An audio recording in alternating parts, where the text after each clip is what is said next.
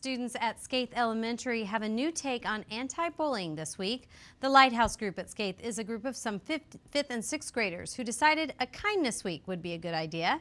Each day students will be dressing up in different outfits and themes to encourage kindness both inside and outside the classroom. Skaith Elementary is the only school in the district that participates in the Leader in Me program. This program encourages student responsibility and older children are asked to set an example for younger kids in the school has made a huge change.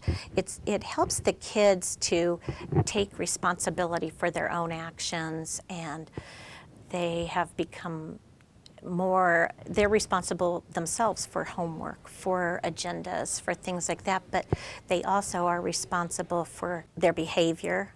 This week we're doing kindness instead of bullying because the kindergartners hear kindness so they think be kind instead of bullying and think bully.